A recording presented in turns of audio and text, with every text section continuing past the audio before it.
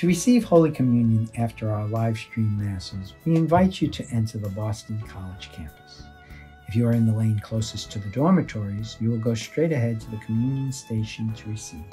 Stop at the communion station when your turn comes. If you are on the side of the street closest to the church, you will enter into the parish parking lot to receive. When you drive up, be sure everyone in your car is wearing face cover. Allow the Eucharistic minister to step aside before receiving in one of these two ways.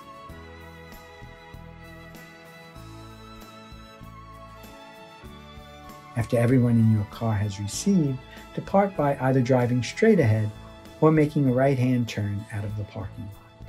This will take you around the campus to an exit. You may receive communion at the handicapped entrance facing Commonwealth Avenue. Please remember to keep at least a six foot distance from anyone not in your household. Wear face covering and extend your hand as far as possible. Please step aside onto one of the two marked locations on the sidewalk.